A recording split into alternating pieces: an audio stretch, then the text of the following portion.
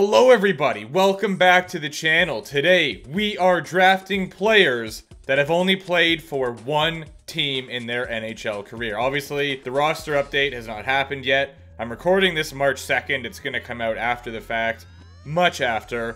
But Timo Meier, no longer a Shark. And at the time I'm recording this, Karlsson's still there, but I don't know. I feel like he might get moved. Let's find out what team we're going to be using. It is the Florida Panthers. Once again, I feel like we're just cycling between the same few teams here. Maybe I should start randomizing from here again.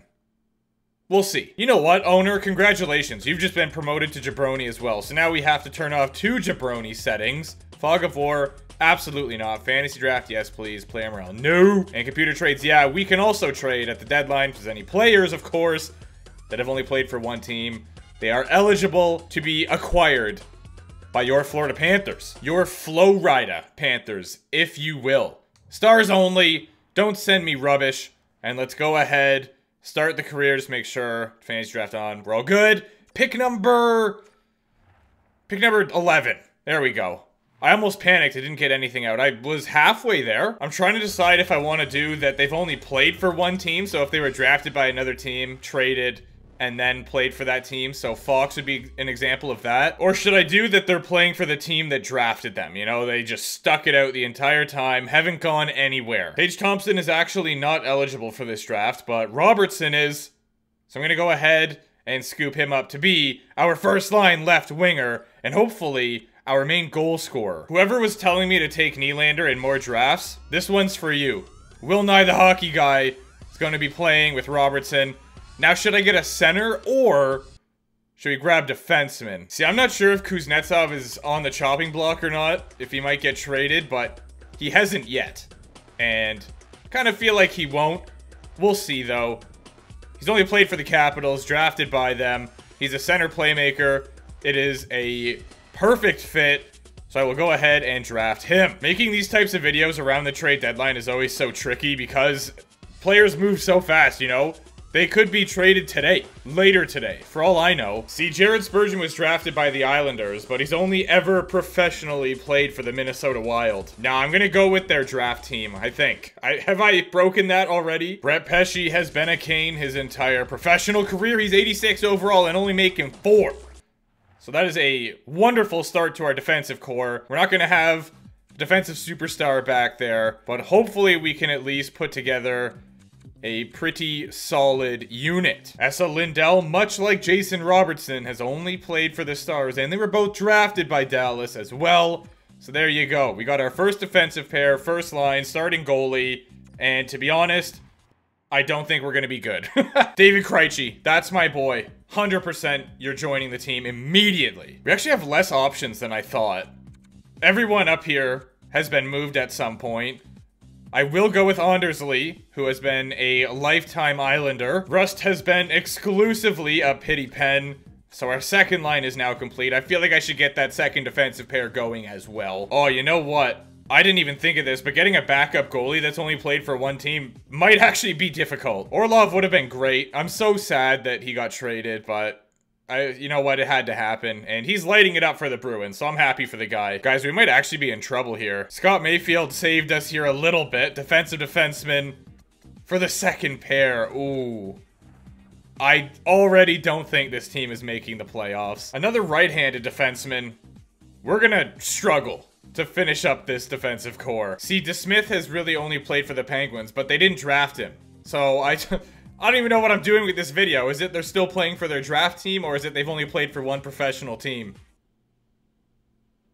I'll stick with the draft thing, just in case. The man has played a grand total of seven NHL games. And he is joining our team. Teddy Blueger would have been an option, had he not just been traded to the Golden Knights. Brendan Gallagher, thank you. Finally, somebody who still plays for their draft team. He's making 6.5, but we got the room, so you're joining our team. Thank you for your service. Another lifetime Islander, 81 overall, making 5 million.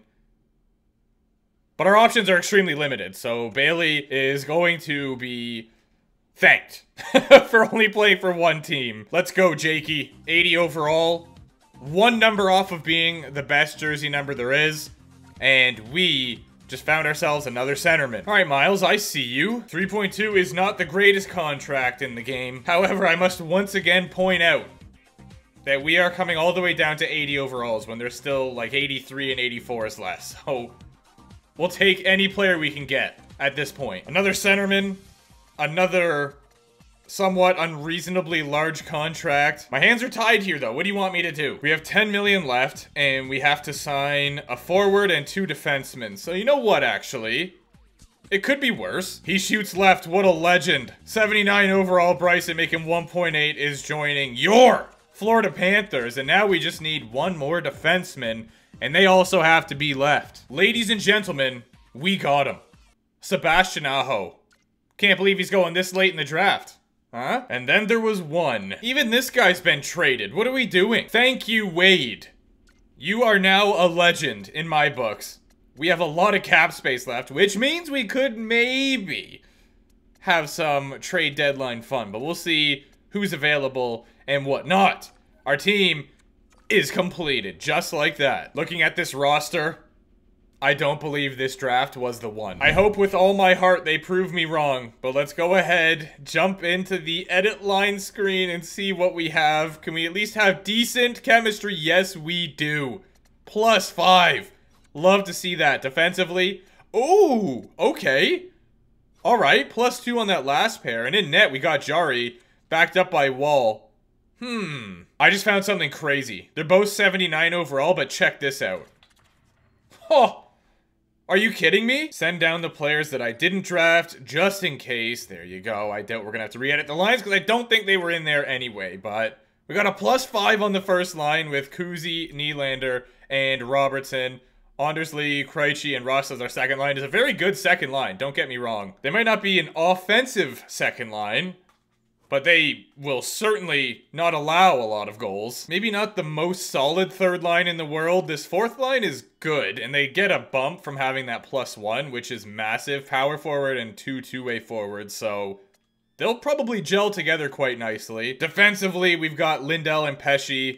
I'll take zero. It's better than being in the negatives. Mayfield with Bryson gets a plus two, and then Seb and Andrew also get a plus two. Jarry and Net.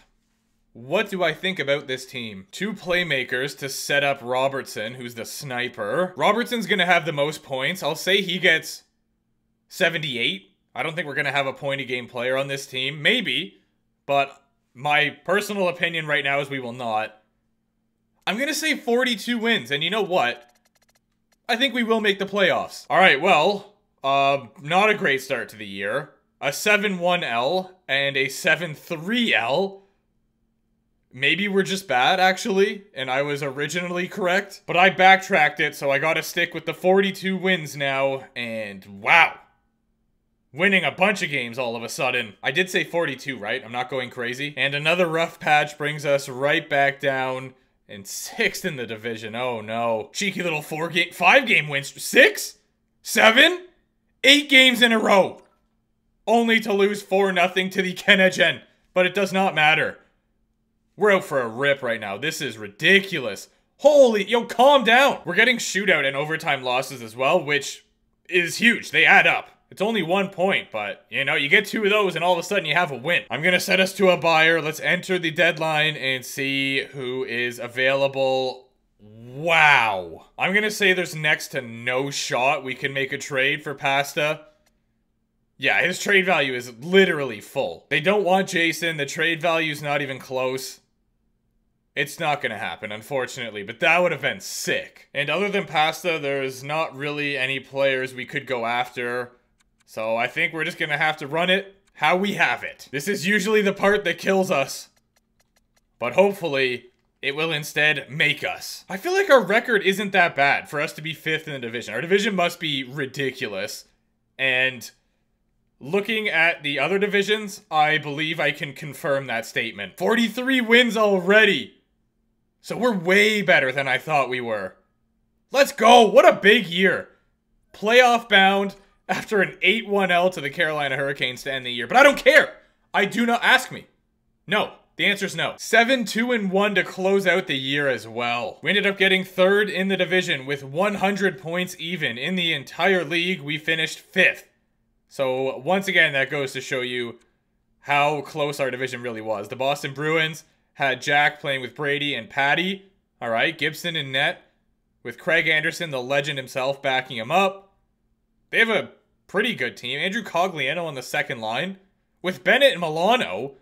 How did this team finish first in the league? They're very good defensively. Chabot and Dumba. Then they've got Chychrun on the second line there, Ty Smith as well. So yeah, they got a good defensive core, but I still don't understand how they won the President's Trophy. I also don't understand why I struggle to speak. But that is just a commonality at this point. It's just another way to tell if it's an authentic Man of the Ritt video, you know?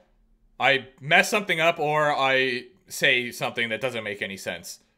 What happened here? They have Barzal, Eberle, and Philip Forsberg, so that first line could get them by. Defensively, they got Girard and Fox. Yeah, I guess I kind of understand why they didn't do so well. 73 from both of them. Robertson and Nylander. Krejci at 66. What are you doing, Kuzi? That's all right. We did well. I'm not going to be upset about the number of points. 32 goals from Jason, and we got 28 from David. This guy's an absolute unit. See, this is why I draft him every time. Remember when I said that second line wasn't going to be a goal-scoring second line? Well, David once again proves me wrong by getting 8 more points than a first liner. Oh, Jarry, you're kidding me. What is that? You beautiful man. Five shutouts, a 923 save percentage, and let's not look over Joseph here. What is that, Curtis? 9-2 and 2 with two shutouts and a 9-13. That exceeds backup expectations. And he was 78 overall. Wow, there was four goalies that tied with 38 wins, and then we've got a trio with 37 as well. But look at this, 931 from Spencer. 87 overall, yeah, I think so. Josh Morrissey, you know? 73 points, the only defenseman to surpass 70. Charlie Mack got a nice amount of points.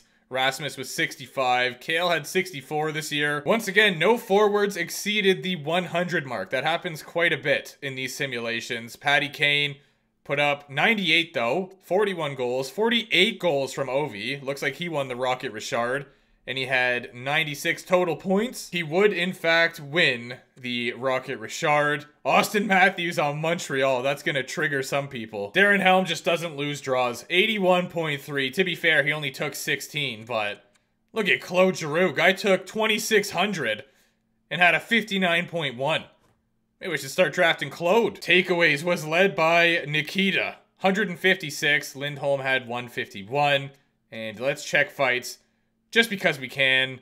Tanner scrapping anybody and everybody. I really want to know when he gets drafted. Obviously, we can't tell from here, but I want to know around what round to look for this guy. Here's your initial playoff tree and let's go. Let's go, it's playoff time. The Sens had one more W than us. I don't think there's gonna be a sweep. However, if there is one, it's in our favor. Nope, it is a best of three. I'll sim one game.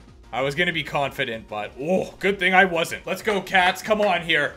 We need a huge game. We have one shot, and there is seven minutes remaining in the first period. That is an issue. All right, never mind. You just shut me up real quick. Anders just swept that under the rug and was like, what, a coach, I don't see a problem here.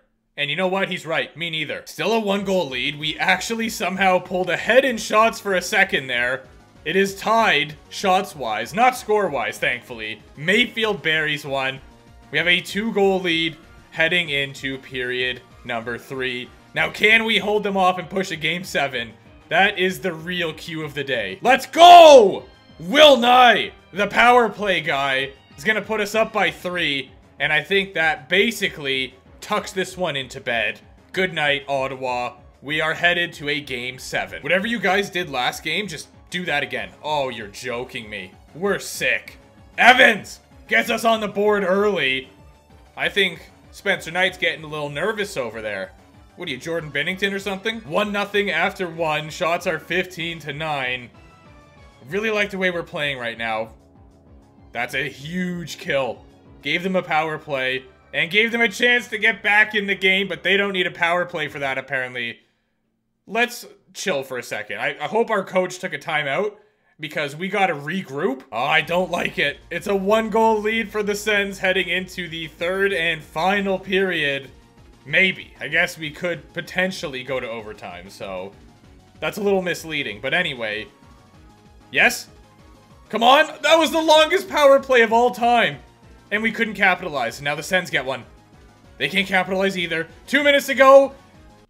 Oh, you're kidding me! There's your three stars of the game. I'm still very proud of the boys. They exceeded my expectations. So good on ya. The Broad Street Bullies winning the Stanley Cup. Where did they finish in the league? They were second in the league, so they almost won the Presidents and the Stanley Cup. They had Trevor playing with Panarin and Olofsson, Nick Backstrom, Smith, and Dewar, Logan Thompson, and Pavel in net, Lindholm with Rasmus Andersson, Siegenthaler and Foote. They somehow built a super team, and honestly, looking at this, does not look like a super team to me. Personally. We just didn't get production in the playoffs. Robertson, four points. Same with Nylander and Kuznetsov. Krejci had three. And we had three from Faksa. Attaboy. This man is blameless. We cannot say anything negative about Tristan almost a 940 save percentage. Obviously, Logan's at the top there at 918. We got a 924 from Vitek and a 926 from Georgiev. Falk led defenseman with 19 points. Letang had 17. They both played 26 games because they both played for the Winnipeg Jets. That would make sense. And your Conn Smythe winner, Sasha Barkov, 30 points in 26 games. Just kidding. They didn't win the cup. That's how it works. In my mind, it should be Barkov but it's probably going to be Panarin or Trevor. Team awards, and I'm going to look for any Florida Panthers logos while simultaneously looking for the Conn Smythe winner. It is, in fact, Trevor. Spencer, yeah, he did us in and just had a phenomenal year. No Florida logos, unfortunately. And there is your final playoff tree. At least the Stanley Cup Finals went to Game 7. So that is good for the fans the virtual fans, I guess. So thank you for watching. If you have other draft ideas, be sure to leave them down below. And yeah, I appreciate you. Subscribe if you could. I mean, you could. All right, on that note, I will see you soon.